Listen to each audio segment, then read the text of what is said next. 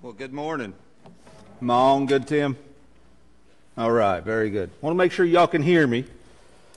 Um, good to see everybody this morning. Um, all right, here they come. They're coming up. Follow the big kid out, kids. Any kids going to children's church? And everybody said, Amen. Sorry, we got to pick on you, Melanie. We love you. so, well, good morning. I want to give you a quick reminder. Um, if you have not got your email to us, right now, media, the emails are going out next Sunday about this time, right at the end of church. Um, don't want to miss out on that. And if you don't get it to us, we can get it to you later. But that's starting next week, and we're going to be talking a little bit more about that next week. Also, don't forget that our Super Sundays on Sunday evenings are starting not this Sunday, not today, but next week, and we're going to be cooking out next week, so join us for that. And don't forget our Wednesday summer at the park. Um, just wanted to remind you of a couple of those things. We'll give you some more details coming out in emails and some other stuff here this week. So let's go ahead and dive in. I'm excited about today. Last week we started in Jonah. We were in chapters 1 and 2 last week. And last week we left Jonah as he prayed to the Lord from the belly of the great fish. Jonah, he was running. And listen, Jonah wasn't running from the Ninevites. That wasn't the problem. He was running from the presence of the Lord. But what we saw last week was very simple. Last week, we saw that God's grace relentlessly p- pursues those that he has his eyes on. For Jonah, the unexpected grace that he received came in the form of a great fish. And Jonah, he ended his prayer from the belly of the great fish by saying, Salvation is from the Lord. Now, can you just pause and stop and think for just a moment about that? You are in the middle of a great fish and you're praising God for his grace. Amen? That's some good news. I mean, grace doesn't always come the way we expect it and what it looks like, but let me tell you something. Grace always comes. Amen? It is always there. And that's where we're going to pick up this morning at the end of Jonah chapter 2. So I ask if you would stand in honor and reverence of the reading of God's Word. We're going to go through chapter 2 this morning, and Jamie's going to change it for you. It's going to be up on the screens. Good news for you, it's only 10, 10 verses in chapter 3. So, but we are going to pick up one at the end of chapter 2. Beginning in verse 10 of chapter 2, this is what the text says. And the Lord spoke to the fish, and it vomited Jonah out upon the dry land. And then chapter 3. Then the word of the Lord came to Jonah the second time, saying, Arise, go to Nineveh, that great city, and call out against it the message that I tell you. So Jonah arose and went to Nineveh, according to the word of the Lord. Now, Nineveh was an exceedingly great city, three days' journey in breadth. Jonah began to go into the city, going a day's journey, and he called out, Yet 40 days, and Nineveh shall be overthrown. And the people of Nineveh, listen to this. The people of Nineveh believed God. They called for a fast and put on sackcloth, from the greatest of them to the least of them. And the word reached the king of Nineveh, and he arose from his throne, removed his robe, covered himself with sackcloth, and sat in ashes. And he issued a proclamation and proclaimed through Nineveh by the decree of the king and his nobles, let neither man nor beast, herd nor flock, taste anything. Let them not feed or drink water, but let man and beast be covered with sackcloth, and let them call out mightily to God. Let everyone turn from his evil way and from the violence that is in his hands. Who knows? God may turn and relent from his fierce anger so that we may not perish. When God saw what they did, how they turned from their evil way, God relented of the disaster that he had said he would do to them, and he did not do it. Let us pray. Father, I just thank you Thank you for this place. I thank you for the singing this morning. I thank you for my brothers and sisters that are here and that are watching from a distance today. Father, we just thank you that we have this privilege to come together. Now, Father, as we come here, not to hear music, but to meet with you and to hear from you, Father. Open our hearts, open our minds so that we can hear wonderful things from your word. And Father, I pray today that you do the work that only you can do. If there's one in the sound of my voice that does not know Jesus, I pray that you do the work that only you can do. Convict them and don't let them leave this place today without knowing Jesus. We love you and we thank you. It's in Christ's name we pray. Amen. Thank you. You may be seated. now, God has done some great and amazing things throughout the history of the world. And listen to me. What amazes me the most about the things that God has done is God's method he chooses to work in time and history. This is what we see here in Jonah 3. Here, what we see is we see one of the world's greatest revivals take place in the city of Nineveh.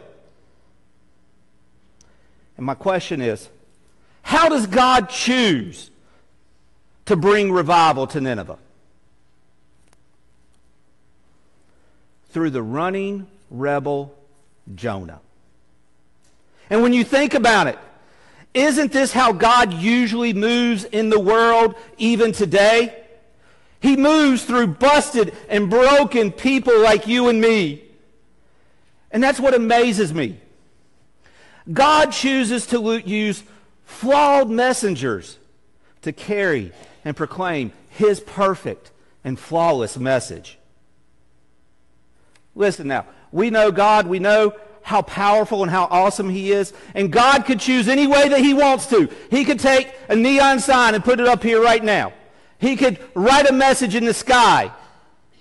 He could do something awesome to make us see and know that he is real and that he is God. He could do it all on his own. But the way God normally works is through ordinary, sinful men and women like you and me. Amen? Be astounded by this truth, brothers and sisters. Listen to me. Do you feel broken and messed up today? Do you see yourself as a flawed and sinful person today? Anybody else in here feel that way with me? Good.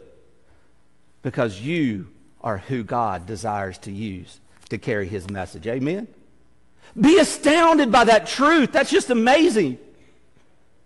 Think about the number of times that we fumble around and we mess up his beautiful gospel. And how many times we fall short.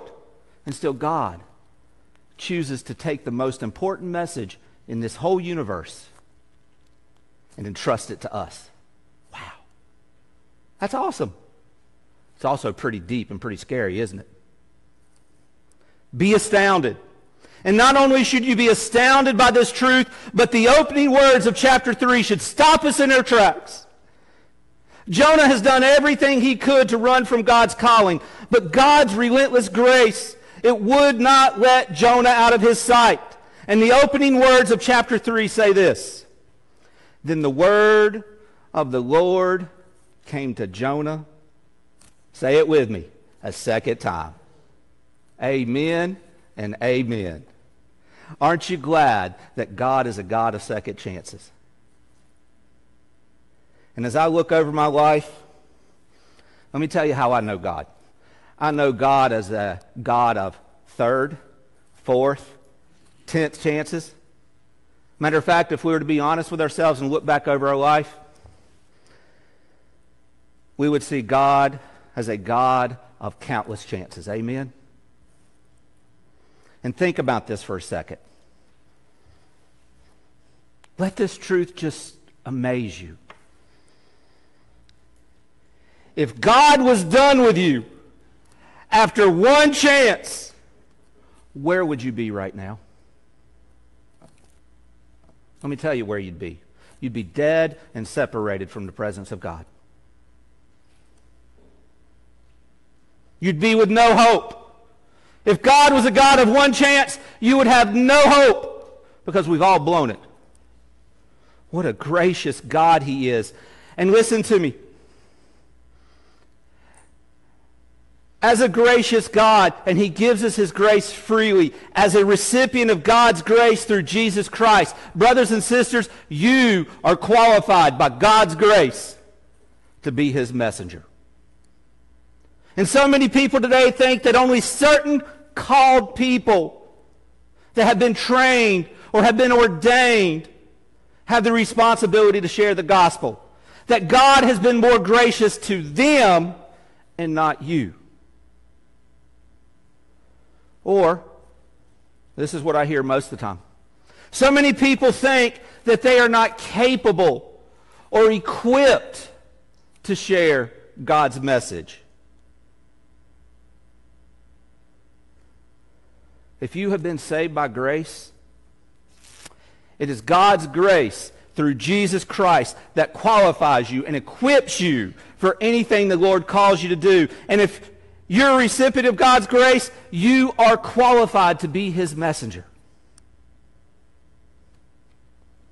So Jonah here, he yields to God's grace. And what happens when Jonah yields to God's grace here in chapter 3. Listen to verse 2 again. The second time, the Lord said almost the same, exact same thing he said to Jonah in chapter 1 when Jonah started running. He said, Arise, go to Nineveh, that great city, and call out against it.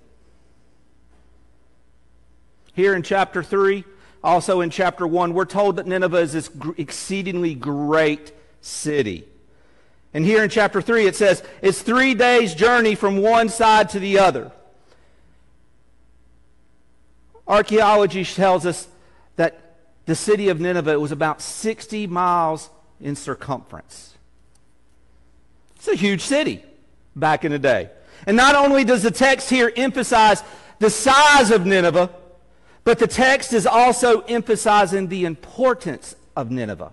Now, Nineveh, listen, Nineveh was the capital of the Assyrian Empire at the time. Of course it's big. Of course it's important. Do you see what's going on here? This is the very city that God called Jonah to go proclaim his message. Do you see what's going on? When you yield to God and his grace, God's going to give you an exceedingly great opportunity to do what he created you for.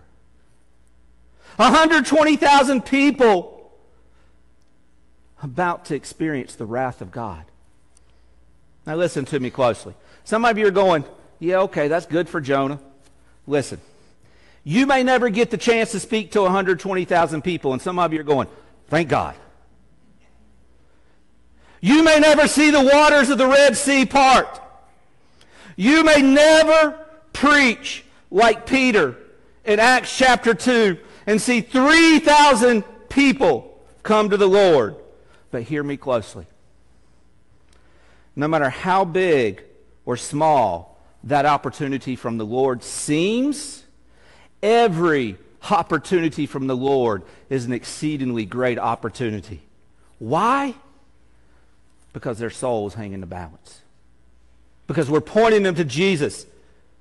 Yield to God and His grace, and He will place before you an exceedingly great opportunity to do what you were created for, no matter how small or how big it seems. Now, I hear the question right now in some of your heads. How? How do I do that? Anybody else got that question? Good, I see some heads. I don't see any hands, but I see some heads bobbing. How do I do that? It's simple. Speak the word to others. Speak God's word to others. There in verse 2, the Lord says, Speak the message that I tell you. And I hear some people now going, Well, of course, for Jonah that was easy. God showed up and told him directly what to say. Right? Don't y'all wish that God would show up and just say, Here's what I want you to say. Go say it. Wouldn't that be so easy? Listen to me. God has shown up, and his name is Jesus Christ. And God has told us what to say because guess what? God wrote a book. We have his word in front of us. Along with God's grace and along, along with the Holy Spirit within, God's word is everything we need for salvation. It's everything that we need for life. It's everything we need to tell others about God's grace through Jesus Christ. Listen, we have God's thoughts. We have God's ideas, His promises. We have God's, God revealing Himself to us. And we have God speaking to us, telling us what to say to others right here. God's grace, it is sufficient. God's presence is sufficient. And God's word is sufficient. And listen to me, brothers and sisters, we've got to stop making the excuses of why we're not doing what we are created to do. We already have everything we need. We have His presence. We have His promises. We have His word. We have His grace. You are fully equipped to go out and be His messenger. Amen? So speak God's word to others. And this one's out of order. So you have to skip a line on your notes and go down one. You'll see it in a second. I just wanted to let you know. Speak God's words to others and share your story of God's grace towards you. It's called a testimony, brothers and sisters. You know what I needed?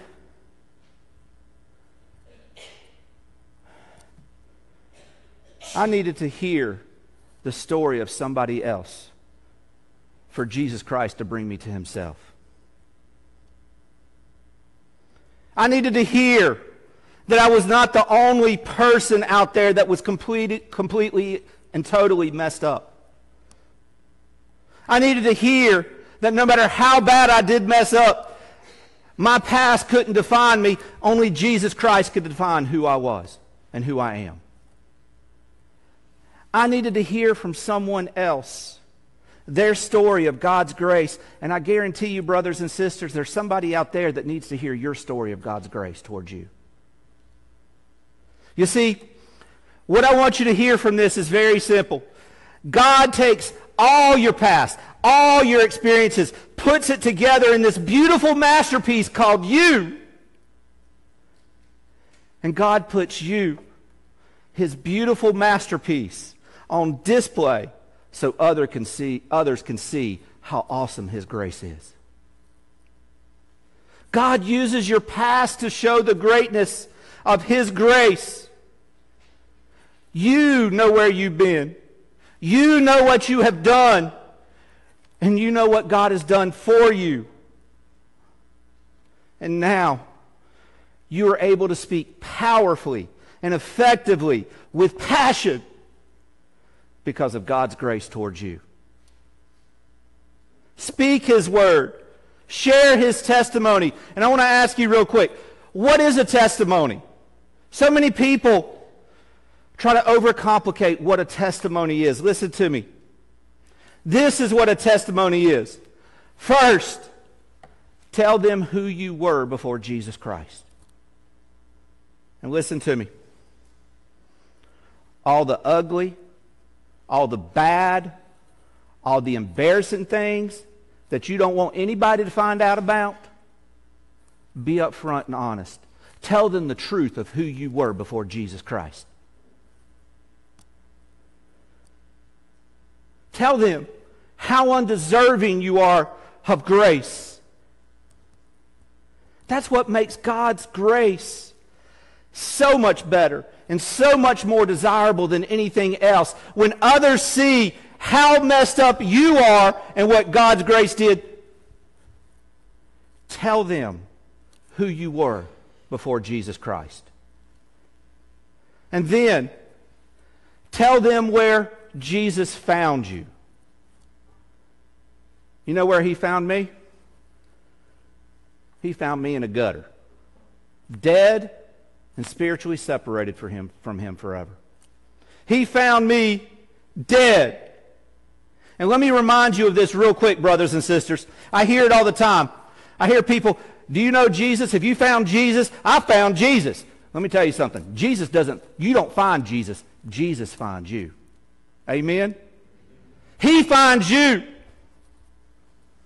He draws us to himself. Tell them who you were before Jesus. Tell them where Jesus found you. And then finally, tell them of the difference God's grace that Jesus made in your life.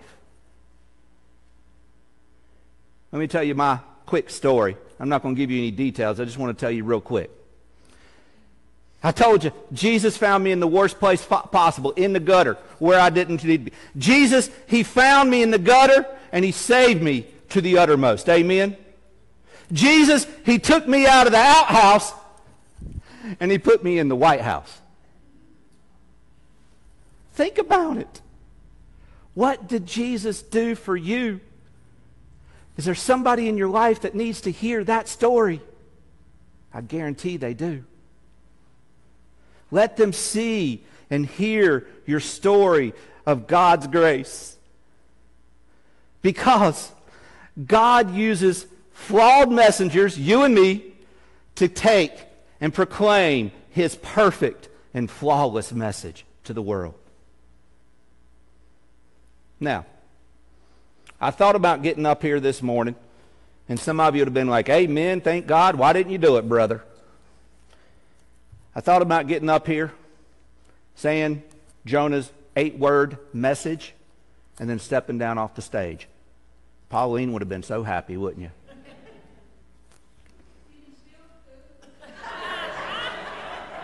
I was that's why I didn't say anything. I knew it was coming. What are y'all clapping for?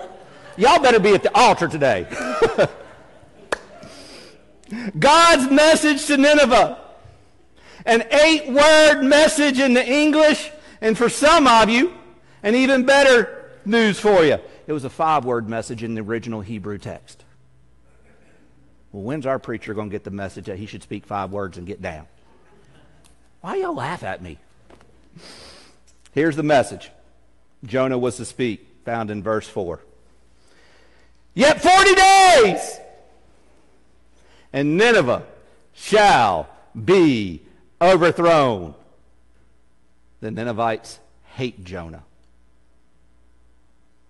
Jonah hates them. Great city, brutal men that do whatever they can. Here is your message, Jonah, that I tell you to speak. Yet 40 days and Nineveh will be overthrown. But again, let me remind you, we're getting to next week. Jonah's fear was not the Ninevites. Jonah's, why Jonah was running was he was running from the presence of the Lord. We'll get to that one next week. An eight word message. And do you know what that tells me? It's, excuse me. It's very simple. It tells me that there's power in God's message, not in the messenger. I can get up here all I want, and I can try to give you the best presentation possible. You can get somebody in here better to give a better presentation. I can't remember who said it. I think it was Charles Spurgeon. He said, You might get a better preacher, but you can't get a preacher to preach a better sermon because it's God's word. You can't get a better word than God's word. And that's what the Lord says. Jonah, here's my message. Don't try to embellish on it. Don't try to make it more palatable. Don't try to soften it up. Jonah, just speak my words. Do you see the simplicity of the message God gave him? Brothers and sisters, do we see the simplicity and the beauty of the gospel of Jesus Christ? Here it is. Here's the beauty and simplicity of the gospel that we take to others. God, He is a holy God. We, we are nothing but helpless and broken sinners, and Jesus, He is the all-sufficient sacrifice. That's our message, is it not? That's what it is. Holy God, helpless sinners, all-sufficient sacrifice. His name is Jesus. That's our message, and we try to complicate what is so simple and what is so beautiful. Don't do that. Speak God's word. Share your testimony of God's grace to you and let God be God. Let God do the work of saving that person. Listen to me. It's not your job to save a soul. It's God's job. Your job is to proclaim the gospel. Amen? Why do we proclaim it? Because there's power in the message, not the messenger. And why do we do it this way? Why has God designed us to do it this way? Well, it's very simple. Listen to me. The gospel is sufficient in all things, and it's the gospel that changes lives. Not you, not your message, but God's word.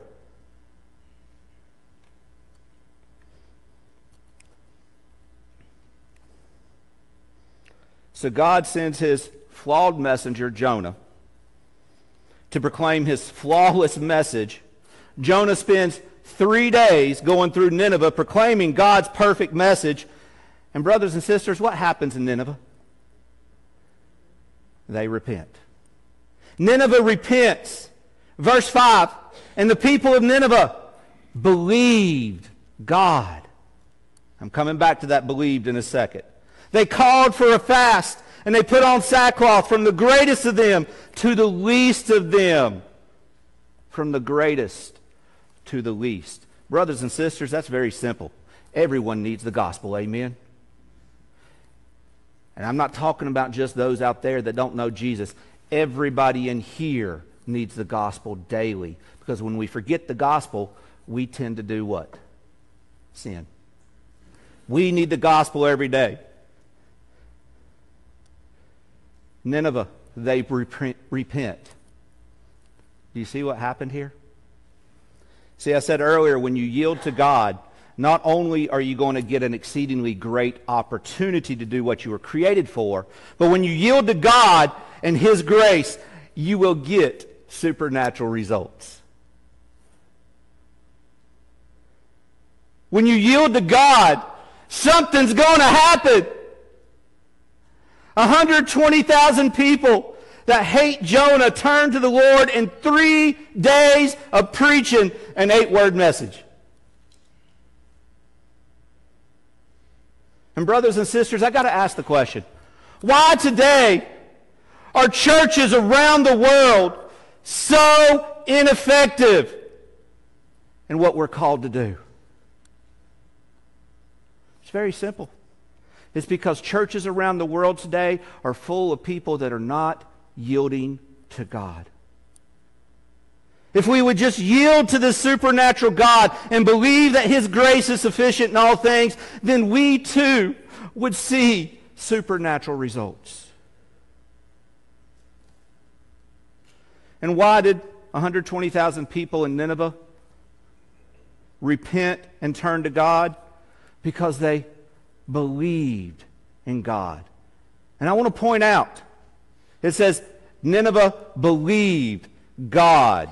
This language here in verse 5 of chapter 3, it's the same language from Genesis 15, 6, where it says, Abraham believed, and it was counted to him as righteousness. It's the same exact language. Even Jesus confirms in Matthew 12 that the people of Nineveh repented and turned to the Lord. Yes.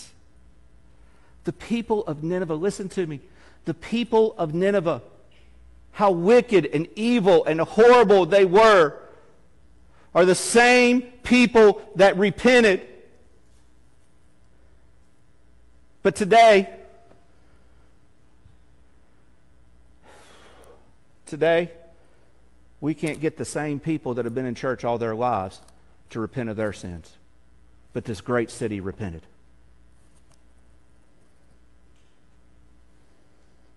And what does it mean that they believe God? What does it mean when the Bible says over and over, believe and you shall be saved? Listen to me.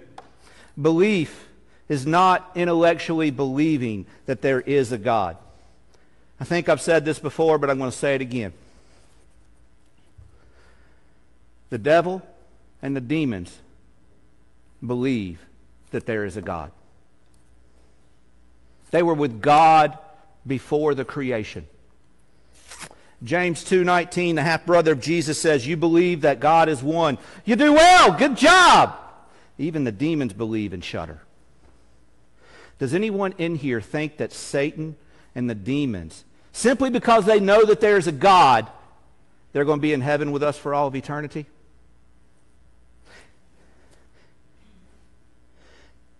I say this with love, but I say it.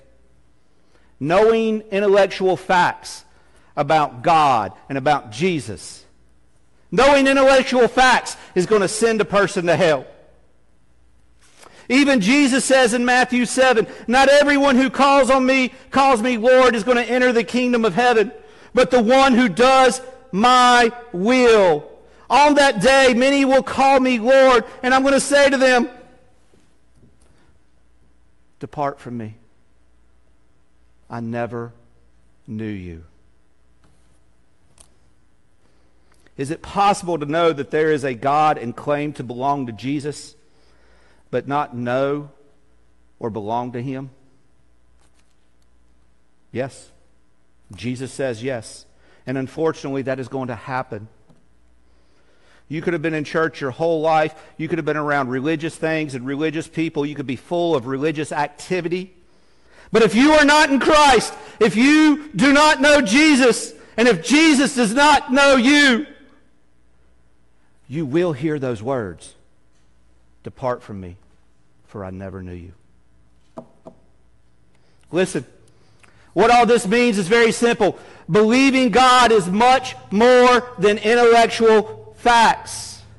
It's a belief that changes your desires, your thoughts, your actions. It's a belief that makes you a completely new person. It's a belief that changes who you are. And anytime there is true saving faith, there will be a change in a person's life.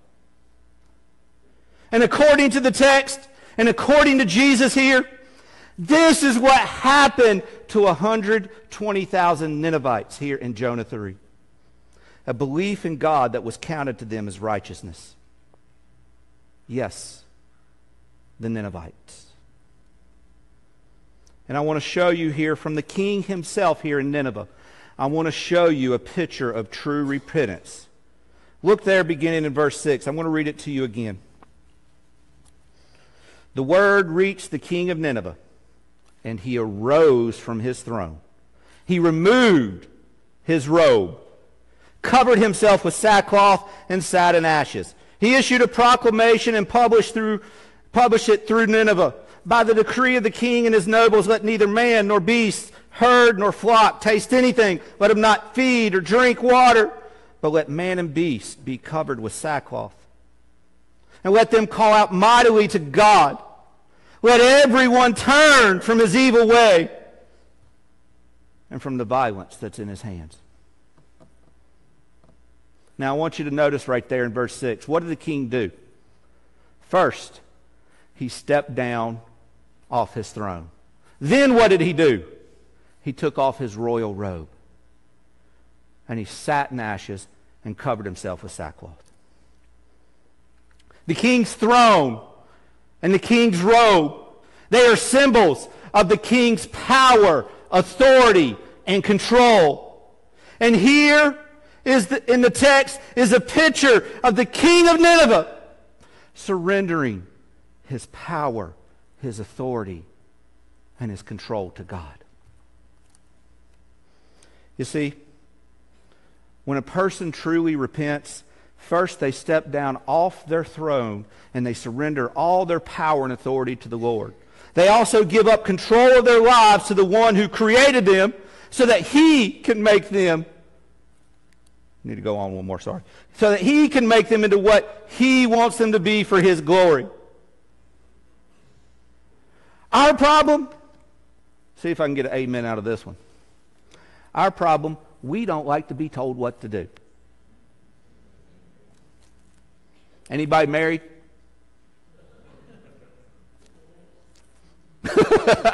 Uh, they're up here on the first row, not looking at each other, going, mm-hmm, "Yeah, we know." no, I'm joking. I love y'all. Greg better get back soon so I can pick on him, right? we don't like to be told what to do. We think we have the power to manage and live out our lives, and we think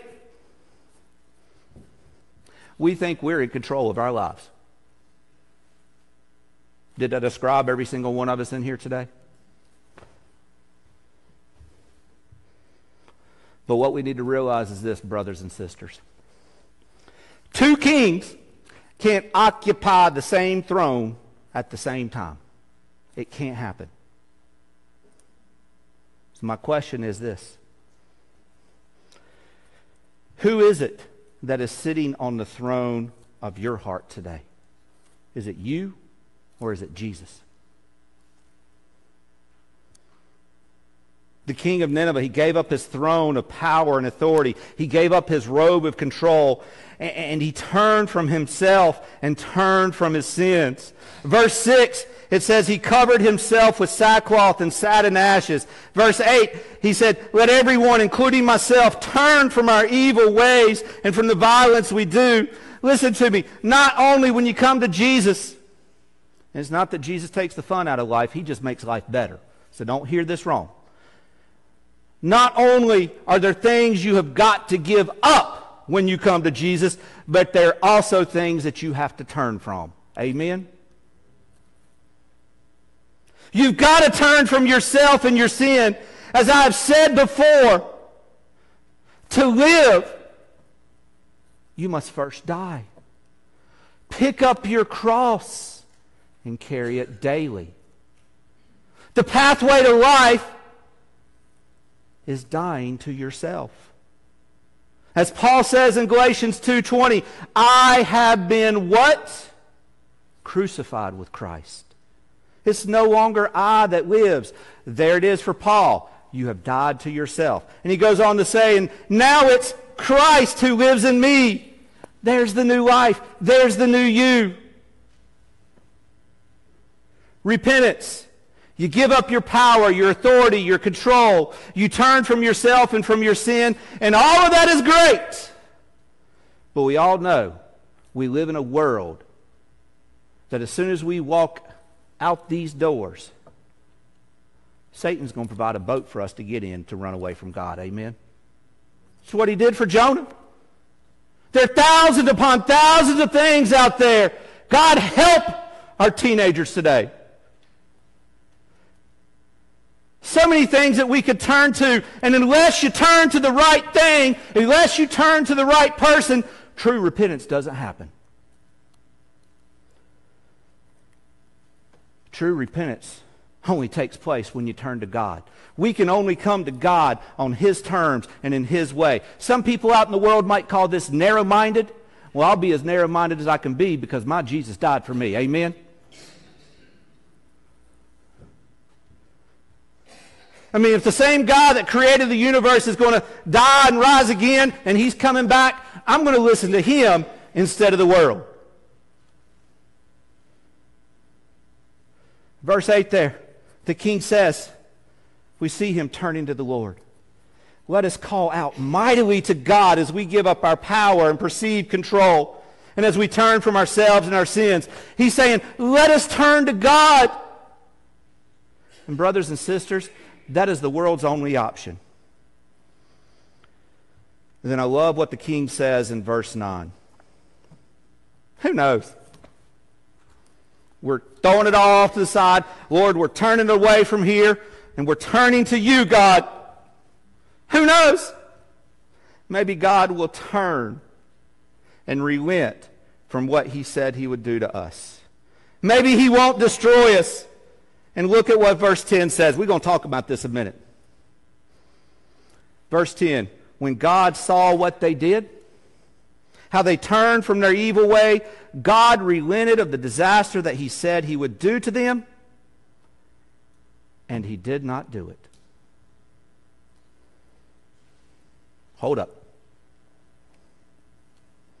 Brings in a big question here. Did God just change his mind? I thought he was an unchangeable God. Did the actions of a man, of people, cause a change in God? Because if God changed, he's not God. Amen? It's a deep question, deep theological question, brothers and sisters, we have to answer. Did God change? The answer is surprisingly simple no. And yes, I'm going to explain it without just saying no. No, God did not change. Listen to me. God did not change. The hearts of the people changed. Think about this for a minute. God has and will always act according to his holy nature. We know God is a loving and gracious God. As 1 Timothy 2 4 says, He is a God that desires for all people to be saved. Does that mean all people are going to be saved? No. But He desires for all people to be saved. But God will not force His mercy and His grace upon people. So God is a merciful, loving, gracious God. That's who He is, right? Also, God is a holy, righteous, and just God. In other words, He is also the judge, and He's going to do what's right. So God is this merciful, gracious God, and at the same time, He's this holy, righteous, and just God. So God, in showing mercy and grace to Nineveh, God was acting according to who He is. Amen? If Nineveh did not repent and turn to Him, God still would have acted according to His nature because He is a holy, righteous, and just God. In other words, God had every right to destroy Sodom and Gomorrah. God had every right as a holy, righteous, just God to do what's right to destroy Nineveh. As a merciful and gracious God, if they turned to him, he had every right to forgive them. Do you see what's going on here? destroy, forgive. Either way, God is still being God. There's no change in God. Whichever way he acted was according to his nature. So God did not change. When we look back at Pharaoh, who was it that kept the hard heart? Was it Pharaoh or did God make him that way? Pharaoh continued in his hard ways. Brothers and sisters, if we continue in our own ways, God's going to allow us to go into whatever he, we choose, right? And he will be just in allowing us to do it. God did not change. The hearts of the people changed. Every time throughout Scripture, this is the way it works. It's not God changing, it's the people. And so here's my question How can God be merciful and gracious to people who don't deserve it. It's very simple. It's the promise the people were looking for in the Old Testament, and it's the promise that came in the New Testament. His name is Jesus Christ. Jesus, He took all the sin of all time, all our past, all our guilt, all our shame, and He nailed it to the cross. And what's so great about the book of Jonah, the lesson Jonah had to learn is this. God's grace isn't just for some people. Jonah, this proud Jewish man, he had to realize God had to teach him God's grace just isn't for the Jews. God's grace is for all people. Amen? Because if it was just for the Jews, how many Jews are in here?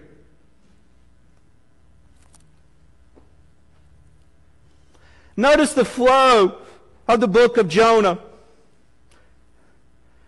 God first had to do a work in Jonah, chapter 1 and 2, before he did a work in Nineveh, chapters 3 and 4.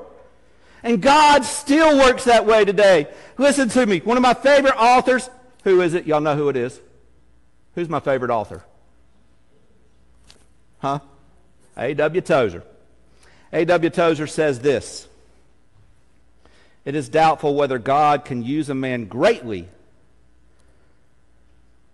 until he has first broke him.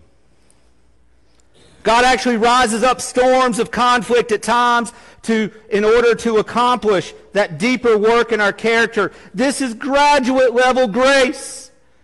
Are you willing to enter this school? Are you willing to take this test? For he brings us through these tests as preparation for greater use in the kingdom. But you must pass the test first. I don't know about you, but getting swallowed up by a great fish, that was a graduate level class, wasn't it? Maybe even doctorate level. But that's exactly what God is doing in Jonah in chapters 1 and 2. Something is wrong with the man Jonah because when God said go, Jonah said no, and he took off running as far as he could from the presence of God. So God in his grace, he relentlessly pursues Jonah, ending with him being swallowed up by a fish called grace. You see, what had to happen for Jonah before revival came to Nineveh? What happened to ha- had to happen to Jonah first is God had to break the man Jonah. And listen to me. He must first break us so he can make us into a usable vessel, vessel for his purposes and glory. You see, Lord knows this country and this world needs Jesus. Amen. And we pray for revival. We ask God to turn the hearts of our nation. We ask God to turn the hearts of our world back to Him. But here's the questions I need to ask you today as we're looking at Jonah and closing up. Are we willing to lay ourselves before God, step down off our thrones, and give up control to Him? Are we allow, willing to allow God to change our desires, our thoughts, and our actions? Are we are we willing to allow God to first break us so that he can make us into who he created us to be? The first great awakening of the early 1700s, it started with men like Jonathan Edwards and George Whitefield, and they allowed God to break them before revival happened. The second great awakening around the 1780s began with a man like Charles Finney, and he allowed God to break him. Even the evangelistic efforts of Billy Graham started with God first breaking the man so that he could preach the gospel to millions. And what I need you to hear today is this. We're praying and we're asking God for revival, but revival starts with one man or one woman that steps down off their throne, removes the robe, and gets very low before God. Here's my question. As an individual, are you willing to do that? As a church, are we willing to do that? Are we willing to let God first break us from our old ways so that he can mold us and use us. And that's the invitation this morning. And I ask you this morning, because I don't know about you, but every single one of us needs to be in here, in here needs to be broken in some way today. Amen? So I ask you this morning in this invitation, will you come join me at the altar? Ask God to break you from your old desires, your old thoughts, and your old actions? Will you ask God to do whatever it takes to break you so that He can use you? Brothers and sisters, that's not an easy prayer. That's a bold prayer. That's surrendering to Him and His will and His purposes. That's the kind of prayer that starts revival. And I know we all want revival to happen. But the question is, are you willing to allow God to do the work he needs to do first in you so that he can bring the gospel to the nations? So as Diane begins playing and the musicians come, I ask you very simply this morning, will you come join me this morning? We all want God. We all want this world to see Jesus because that's their need. Will you come join me during this song? And brothers and sisters, let's pray that God breaks us so that he can use us. That's what we need today. We need revival in this community. We need revival in our world. Will you come pray? Father, we love you. We thank you. And we praise you for who you are. Father, do the work that you only you can do. Because, Father, we want to see your glory shine, and we want others to know Jesus. We thank you and we praise you. In Christ's name we pray. Amen.